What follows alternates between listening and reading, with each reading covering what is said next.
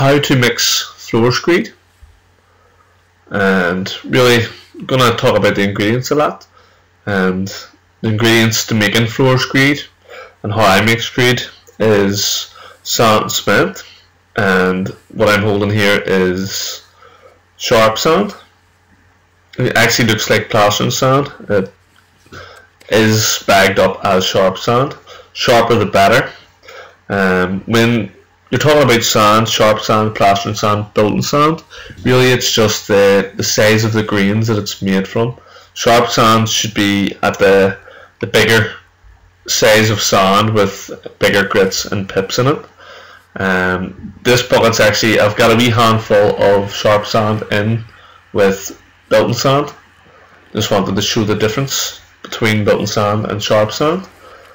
Um, floor screed's going to be it's going to be a semi-dry mix of one cement to four sand.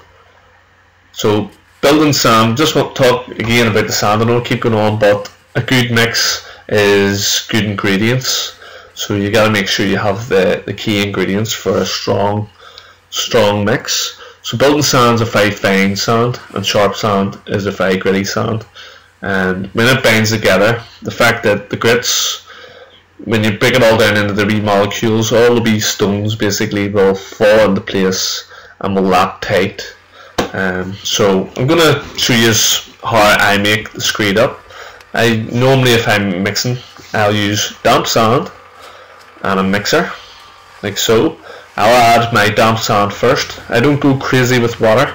You do not want a wet wet mix, it will be nearly impossible and I am not joking when I say nearly impossible to get a good floor with a wet mix. Um, this is not concrete, it is floor screed, it's a sand cement mix, so you want it semi-dry. Um, don't be thinking that because it's semi-dry it will be weak and you can't walk on it, but this will be a very very strong mix, 4 to 1. Sand cement, floor screed, semi-dry. If you are concerned about that, you can give it a wee mist. See, I'm just putting very, very little amounts of water in. If you notice in the middle where it's starting to sort of come together, and boy, this is the way you want your screed to sort of be. You don't want too much balling, because that means you're over mixing it. So now that I'm happy that my sand is it's damp enough, I can go ahead and add my cement. So basically I have a full bucket of sand in there and a quarter bucket of cement just for the demo of this video.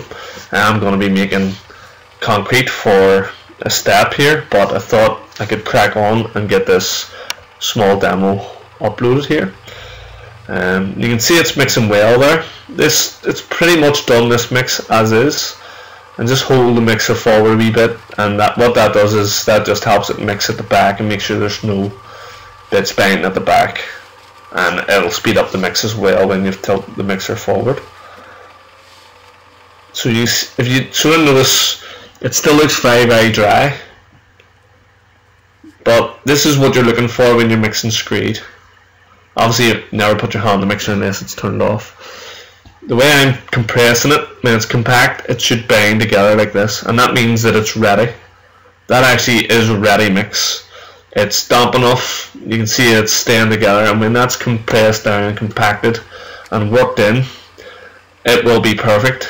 And for, for demonstration purposes I'm going to show you here how you know you're starting to overmix your screed. Now this screed's still okay. I added a wee bit more water. If you notice the balls starting to form you don't want the balls. That does mean the screed's fine but the balls if you get too much it would be an absolute nightmare to finish because they're very compact. And they would be difficult if you have a lot of them it'd be very difficult to compact and compress your floor in and get a nice tidy finish. But so that's that's how you mix it guys. 4 to 1 sand cement semi-dry and do the hand test here. Which I'm showing when it's compressed it holds holds a bit of shape and you're done you're ready for your screed.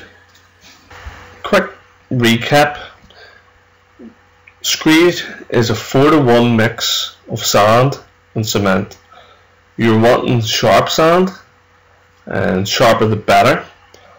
Um, Uh, it consists of mainly three main main materials, and that is sand, cement, and water. Preferably, if you have damp sand, that means you don't really need to mess about with water too much, as you, you it is a semi-dry mix, and you want to keep it as such.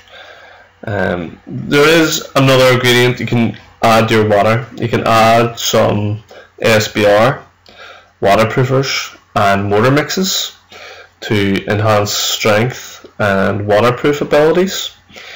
You can also add some small chippings of stone, real fine, fine chippings, if you want to also add strength. And you can also add fibres if you want to add strength. But again, they're all optional. And the main ingredients is sand, cement, water at a 4 to 1 ratio. So, thanks for watching guys. Hope this helped.